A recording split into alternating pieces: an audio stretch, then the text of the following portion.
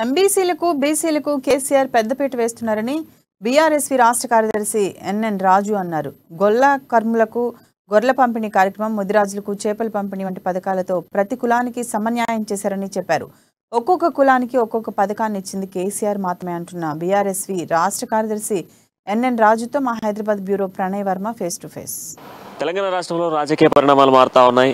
ఈరోజు సీఎం కేసీఆర్ కూడా తెలంగాణ భవన్లో ఒక విస్తృత స్థాయి సమావేశాన్ని నిర్వహించడం జరిగింది.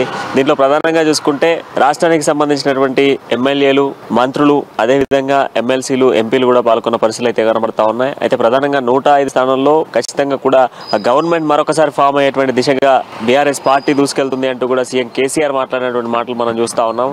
అయితే దీనికి సంబంధించి అసలు ఈ విస్తృత స్థాయి సమావేశాల వెనుక ఉన్నటువంటి అసలు అసలేంటి అన్నటువంటి విషయాలు కూడా మనతో పంచుకునేందుకు బీఆర్ఎస్వి రాష్ట్ర కార్యదర్శి ఎన్ఎన్ రాజు మనతో ఉన్నారు. ఆయనతో మాట్లాడదాం. రాజు గారు ఈరోజు ఒక విస్తృత స్థాయి సమావేశాన్ని నిర్వహించారు. మరి నూట ఐదు స్థానాల్లో ఖచ్చితంగా కూడా బీఆర్ఎస్ గెలుస్తుంది అని చెప్తా ఉన్నారు. సో ఏంటి?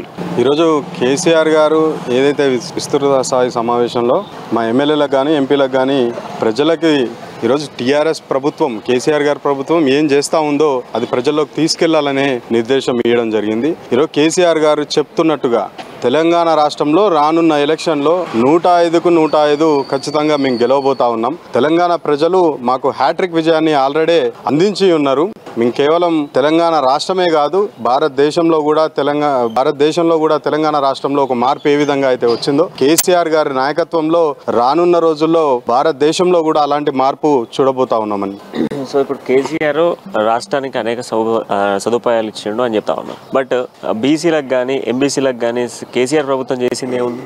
ఈరోజు రాష్ట్రం ఏర్పడ్డ తర్వాత తెలంగాణ రాష్ట్రం ఏర్పడ్డ తర్వాత దేశంలో ఏ నాయకుడు ఆలోచించని విధంగా బీసీల గురించి లోన్లు కానీ కొత్తగా వాళ్ళు ఏదైనా బిజినెస్ పెట్టుకోవాలంటే వాళ్ళకి లోన్స్ కానీ మా షీప్స్ అండ్ గోడ్స్ కార్పొరేషన్ని ఏర్పాటు చేసుకొని వాటి నుంచి యాదవ్ల యాదవ్ సోదరులకు గొర్రెలిచ్చుకోవడం కానీ మత్స్యకారులకు చేపల పంపిణీలో చేపల పంపిణీలోనే పెంపకంలో ఈరోజు ప్రభుత్వం అండగా నిలిచింది. ఇలా ఎన్నో రకాలుగా ఈరోజు దేశంలో ఏ నాయకుడు కూడా ఊహించకుండా ఊహించని రీతిలో కేసీఆర్ గారు ఎంబీసీ కార్పొరేషన్ అని ఒక కార్పొరేషన్ ఏర్పాటు చేసి ఏదైతే మన నిమ్న వర్గాలు ఉంటాయో కుమ్మరి కమ్మరి లాంటి ఇలాంటి వృత్తులు చేతి వృత్తులు చేసుకునే కులాలు ఏవైతే ఉంటాయో ఆ కులాలని ఆదరించి ఈరోజు కేసీఆర్ గారు ఎంబీసీ కార్పొరేషన్ అనే ఒక కార్పొరేషన్ ద్వారా అలాంటి కులాలు ఎన్నిటికో ఎన్నో కులాలకి ఆదరించిన ప్రభుత్వం ఇవాళ కేసీఆర్ గారి ప్రభుత్వం. సో ఇప్పుడు ఈ నూట ఐదు స్థానాల్లో గవర్నమెంట్ మళ్ళీ మీదే ఫామ్ అవుతుందని చెప్పేసి ధీమా వ్యక్తం చేస్తున్నారు. సో ఈ ధీమాతోనే దేశ రాజకీయాల వైపు మరలుతా ఉన్నారు కేసీఆర్.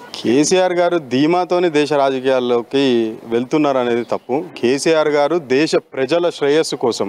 దేశ ప్రజలు ఇప్పుడు పడుతున్న ఇబ్బందులు కానీ దేశంలో రైతులు పడుతున్న ఇబ్బందులు కానీ ఈ ఇబ్బందులన్నీ దృష్టిలో పెట్టుకొని దేశానికి కేసీఆర్ గారి నాయకత్వం అవసరం కాబట్టి ఈరోజు దేశ రాజకీయాల్లో కేసీఆర్ గారు ముందడుగు వేస్తా ఉన్నారు. సో ఇప్పుడు ఈ పదేళ్ళ పరిపాలనను మొత్తం ఇరవై ఒక్క రోజుల్లోనే తెలంగాణ ప్రజానికానికి అందజేసే విధంగా ఉత్సవాలు నిర్వహించాలంటూ కూడా దిశానిర్దేశం చేసినట్టుగా తెలుస్తా ఉంది. అంటే అది తెలంగాణ రాష్ట్రం ఏర్పడ్డ తర్వాత మనం పదవ ఆవిర్భావ దినోత్సవాన్ని జరుపుకో జరుపుకోబోతా ఉన్నాం. ఇప్పటి వరకు కూడా ఈ పదేండ్లలో తెలంగాణ రాష్ట్రంలో ఏవైతే మనం ఈ ప్రజలకి పథకాలు అందిస్తా ఉన్నామో ఆ పథకాల గురించి కానీ తెలంగాణ రాష్ట్రం గొప్పతనం ఉట్టిపడేలా ఈరోజు దేశంలోనే ఈ మన గొప్పతనాన్ని ఉట్టిపడేలా ఇరవై ఒక్క రోజు ఉత్సవాలు జరపాలని కేసీఆర్ గారు నిర్ణయం తీసుకున్నారు. తెలంగాణ ఆత్మగౌరవాన్ని దేశ ప్రజలకు చాటి చెప్పేలా సంబరాలు జరగబోతా ఉన్నాయి కేసీఆర్ గారి నాయకత్వంలో.